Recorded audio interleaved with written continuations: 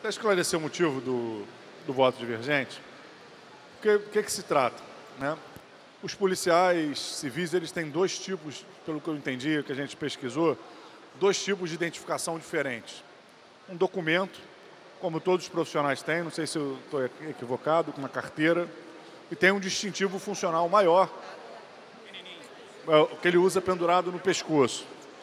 Pelo que eu entendi, o projeto é, autoriza que os policiais, mesmo aposentados, continuem com esse distintivo, que é típico dele usar em serviço, para que ele possa ingressar em outros espaços. É, e aí o, o, o policial civil já aposentado teria uma identificação do exercício funcional. Então, eu não consegui entender qual era o sentido do projeto, porque me parece que seria dar para um profissional aposentado, já afastado das suas competências, uma identificação de um, tipicamente, de quem está na ativa. Então, por isso, eu dei meu parecer contrário, mas se eu estiver equivocado, eu gostaria até de entender se eu estou entendendo equivocadamente o projeto.